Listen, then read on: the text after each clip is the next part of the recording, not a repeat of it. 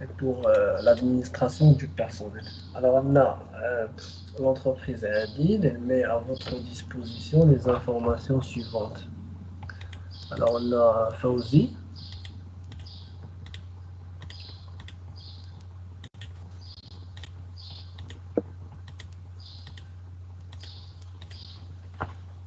Alors on a euh, Fauzi, c'est son salarié.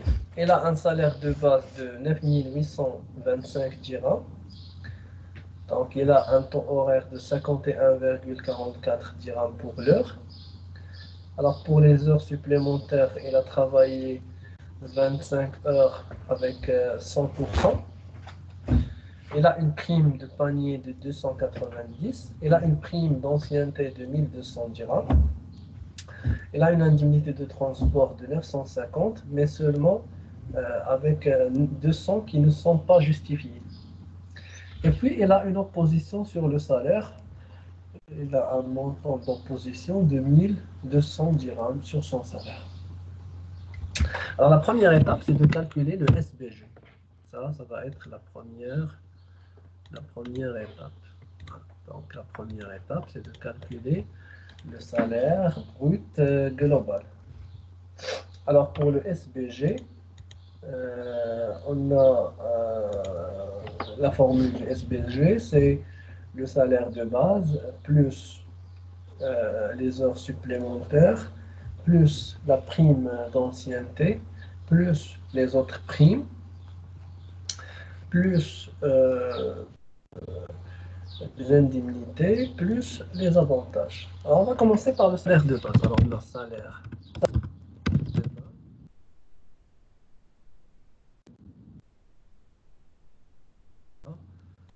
c'est le salaire de base.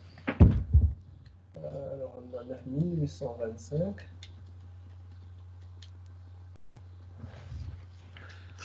Alors, pour les heures supplémentaires, les calculer. Donc, on a, euh, il a travaillé 25 heures. Le temps horaire, c'est 51,44 et ils sont majorés à 100%. Alors, on a 1 plus 100%, ça fait 2. Et donc, pour les calculer, on va mettre 25 multiplié par 51 multiplié par 2. Ça donne 2572. On va ajouter maintenant euh, la prime d'ancienneté. Alors, normalement, pour calculer la prime d'ancienneté, on a besoin euh, du, barème euh, et de savoir son ancienneté. Alors dans cet exercice, c'est déjà donné, donc directement je mets 1000, 1200. Alors, on a la prime de panier. La prime de panier. La prime de panier, c'est 280. On a ensuite l'indemnité de transport. Pour l'indemnité de transport, euh, il y a un montant total de 950, mais il est justifié seulement à hauteur de 750, parce que 200 dirhams n'est pas euh, justifié. Alors, euh, la prime d'ancienneté, l'indemnité de transport et sa justification, c'est une affaire qui concerne la fiscalité. C'est-à-dire que j'ai un problème de savoir est-ce que c'est est-ce justifié ou non, mais seulement de, dans le cadre de, l'impôt, de l'IR. Au niveau du SBG, euh, l'entreprise peut indemniser une personne sans qu'il soit justifié. C'est une affaire contractuelle et la fiscalité n'a pas de, relation là-dessus. Donc c'est une affaire qui est spécifique, qui est entre euh, l'entreprise et euh, le salarié. Et donc, on va prendre pour nous, on va prendre le montant de 950 euh, entiers. Et là, je calcule le SBG. Alors pour le SBG, il s'agit tout simplement de faire la somme des éléments. Voilà. Alors ça donne 14 837. Alors maintenant, je passe au deuxième point. Après le SBG, on doit calculer cette fois le SBI. Alors pour les SBI, je prends, je laisse le SPG et je, je, retire, je retire euh, deux choses. Première chose, je retire la prime de panier. ensuite, je, je retire l'indemnité de transport justifiée seulement. Parce que pour le SBI, c'est de la fiscalité. Donc, on va retirer ici 750. Alors, c'est 950 moins les 200 qui ne sont pas justifiés.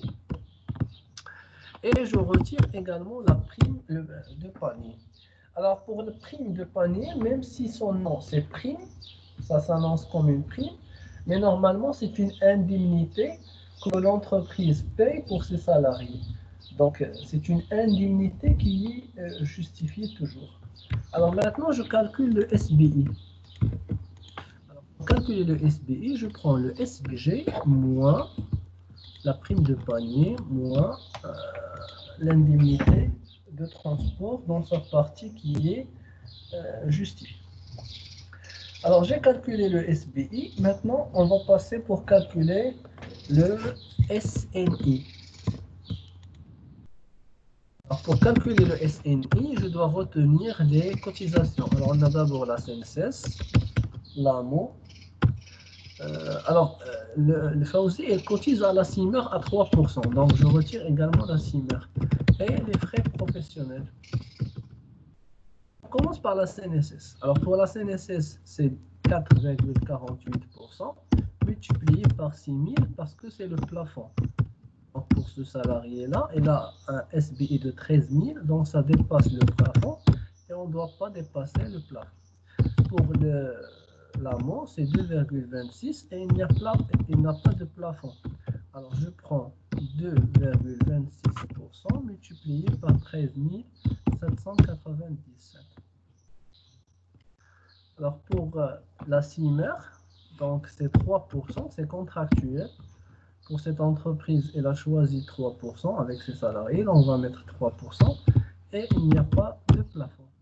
On va mettre 3% multiplié par 13 797.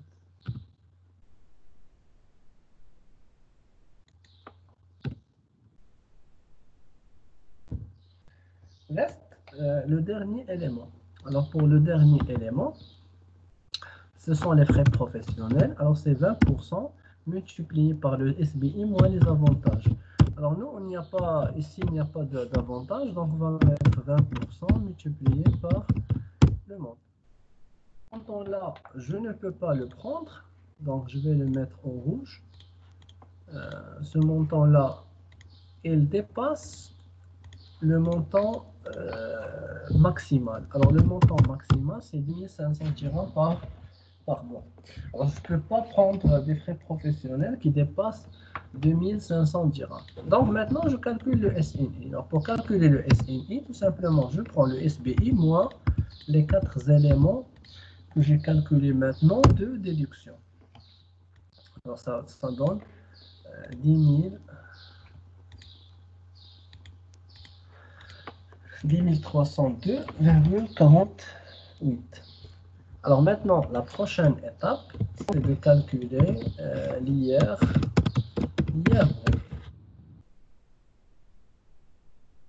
euh, pour calculer l'IR brut, j'ai besoin du, barème. L'IR brut, euh, j'ai besoin du barème de l'IR. Alors, le barème de l'IR, le voilà. Là, c'est le barème de l'IR. On va le laisser ici. Alors, on a un SNI de 10 300. 10 300, c'est la tranche de 34.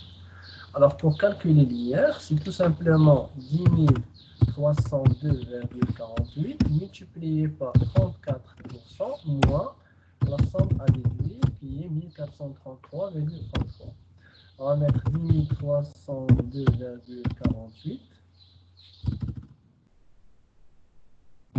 10302,48 multiplié par 34%.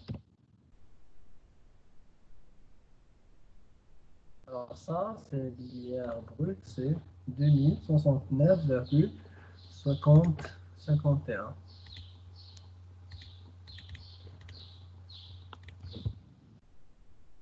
Alors, la prochaine étape, c'est de passer de l'IR brut à l'IR net. Alors maintenant, pour calculer l'IR net, j'ai besoin de savoir les, personnes à charge. Alors pour les personnes à charge, il est marié et n'a pas d'enfant. Et donc, il a une seule personne à charge, c'est sa femme. Alors je prends 2069,51 moins 30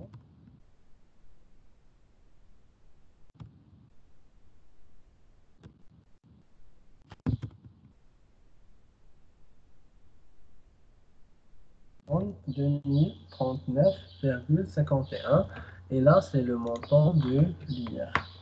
Hein, ce qu'on appelle l'IR à payer ou bien l'IR net. Alors maintenant on va calculer le salaire net à payer ou bien le salaire net euh, disponible. Alors pour le salaire net le SBG voilà.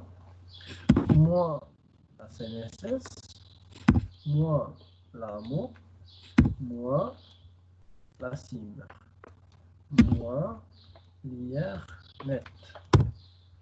Alors là, euh, c'est ce qu'on appelle le salaire net, parce qu'il y a encore les avances et les oppositions. Alors maintenant, je mets le salaire net. Je retranche la dernière chose qui reste, c'est les 1200 dirhams d'opposition ça va 10 602,97. Alors, pour euh, présenter les calculs que j'ai faits, donc pour euh, euh, le salaire net, c'est le SBG, c'est 14 837 moins la CNSS moins l'amour moins la CINER moins l'IR net Euh, le salaire net à payer, c'est ce qu'on a trouvé. moins les 1200 dirhams d'opposition. Voilà, donc ça va donner euh, le montant du salaire net à payer.